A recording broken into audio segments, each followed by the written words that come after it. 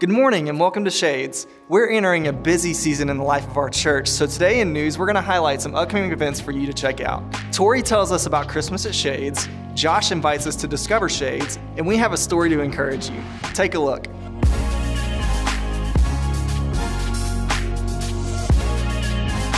Our Christmas at Shades program is just around the corner. It's coming up Sunday, December 8th, and there will be two services for you to attend one at 2 o'clock and one at 6 o'clock. Our choir, orchestra, and worship team have been working hard this year on bringing us the message God with us, God for us. This will be a great way to kick off the Christmas season, so be sure to invite friends and family to come here to Shades. That's Sunday, December 8th. For more information, head to shades.org slash Christmas.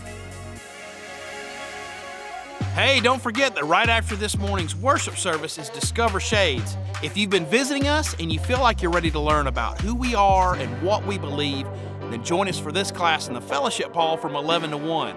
You'll hear from our senior pastor, Danny Wood, and have the opportunity to meet with some of our staff members. Childcare and lunch are provided, and we'll see you there.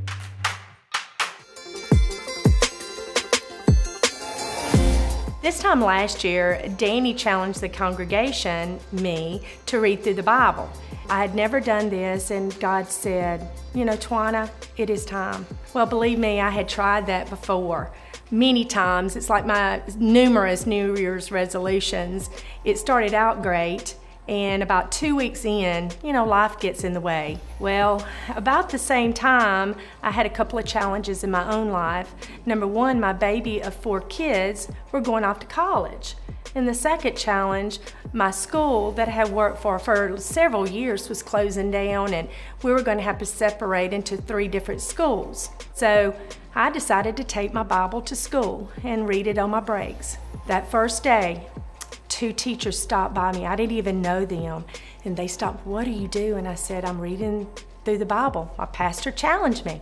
Then they opened up about their own walk with God and the challenges. And we just started talking about the Bible, passages that I was reading in the Bible. And that was just an answer to prayers. I said, God, all you did was ask me to open my Bible. I thought gospel conversations you had to plan for. But what it taught me is it just happens. God does that. I think in the past, I thought I had to make the opportunity, and I'm not good at that. Those everyday opportunities that just God puts in front of you. You just have to open your eyes and see it. And it happens. It happens every day. I am mostly up to speed. I, am a couple of weeks behind, um, but my goal is by January I'm going to be through. I think I've slowed down a little bit because I wanted not just to read it, I wanted to understand it. And I never thought that I would do that. Church, there are even more ways for you to live sent than what you've heard in news. So visit our website, shades.org, and follow us on social media.